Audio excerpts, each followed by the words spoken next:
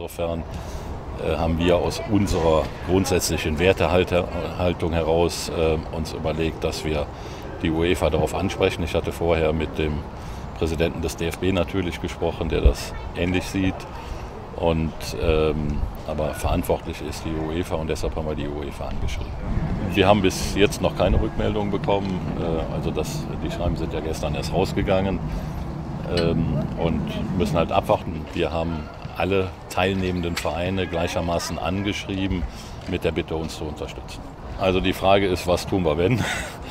Und äh, die Antwort ist, dass wir äh, zunächst mal davon überzeugt sind, dass, du, dass die UEFA sich überlegen wird, da zu intervenieren. Sollte das nicht passieren, ähm, man muss immer sagen, unter den aktuellen Umständen, weil die Umstände können sich ändern, äh, würden wir antreten, aber ähm, die Bühne, die wir da bekommen, nutzen.